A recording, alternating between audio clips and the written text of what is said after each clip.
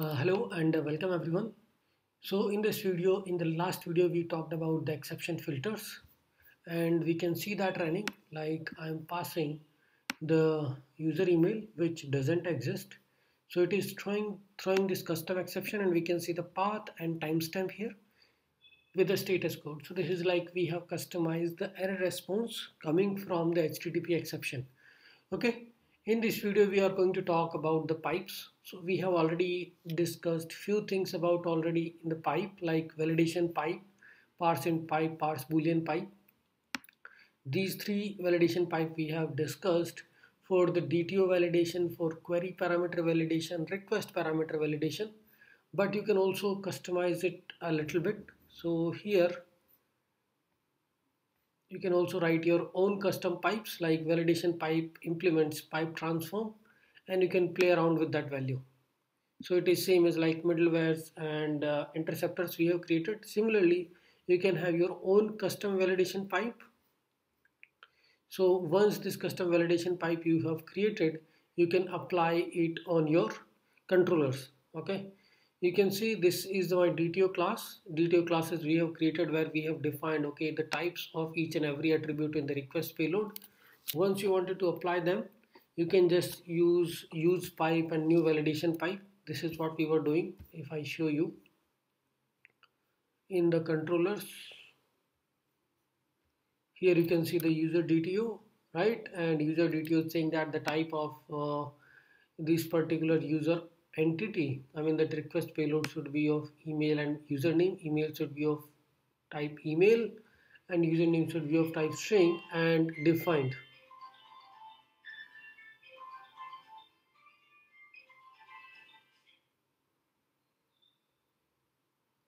Okay.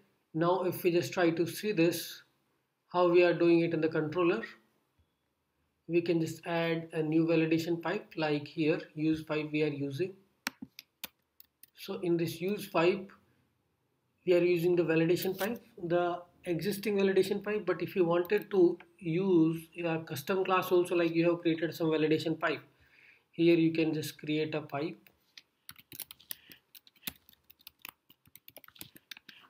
And you can just say index.ts and you wanted to create some validation pipe like um, Joi validation pipe right? So what it is doing is Joi is actually custom library right? What it does is it does the object validation request payload validation. This is another type. You don't need to if you don't want to use class validator you can use the legacy view of doing it. Joi hapi it is actually powerful powerful tool to validate the schema. So what we are doing is we just copy and paste it and we are going to use this validation pipe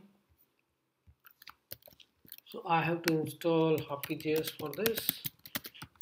Hapi Joi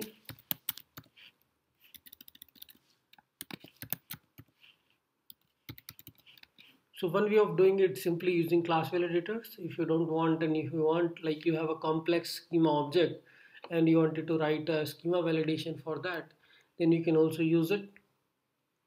So here in the place of validation pipe you have created a custom validation pipe Joi validation pipe. So you will be using that in your class.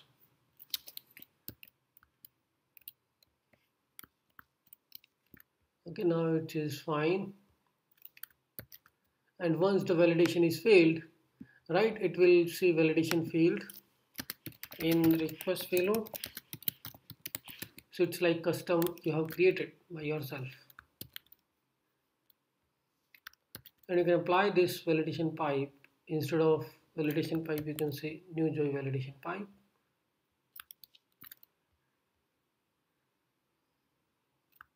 So here you need to pass the schema. So you can see in the transform it is taking two things the value and the schema right? While calling this validation pipe it requires the schema to be passed right?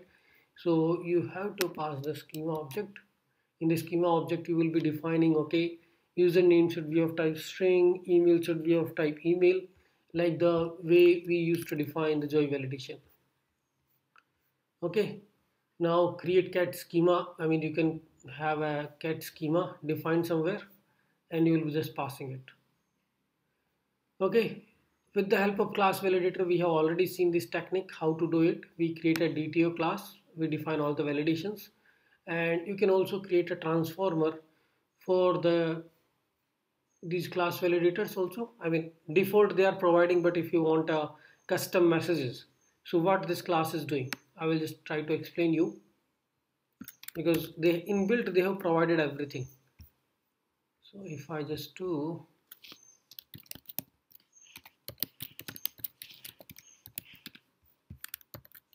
you can just see validation pipe pipe transform and it is using class validator. Okay so it is validating that object which is coming back and if error length is greater than 0 then it is returning bat request validation otherwise it is returning the value. Okay and allow types like string boolean number array object right? So it is also doing the same thing. It is just customizing the validation pipe a little bit. Uh, it is just checking the metadata and meta types and then applying the rules. Okay so this is like a easiest way of doing it. Here you can just pass the validation pipe directly to the body new validation pipe and this validation pipe will be applied to the DTO which we are trying to get. Okay? You can also apply this validation pipe globally for your application new validation pipe. Because we are using the pre-built validation pipe only we just customized it. Okay we are validating the object and then if, if we are getting any error then we are just throwing the message. Bad request exception okay? So this is how you can apply the pipes. There are parse int pipe parse boolean pipe are nothing but when you are actually accepting a query parameter or route parameter you want explicit conversion then you can use them. But here the two important aspects are this. How to use how to integrate the the Joi validation with uh, the existing validation pipe. So you can create a custom pipe and use the, the Joi validation. So here this is the object schema and we are doing this validate method on top of this uh, schema object and passing the object. If it comes out any error if it if some of the properties not satisfying the the Joi schema then you will get a validation failed. Otherwise you can default.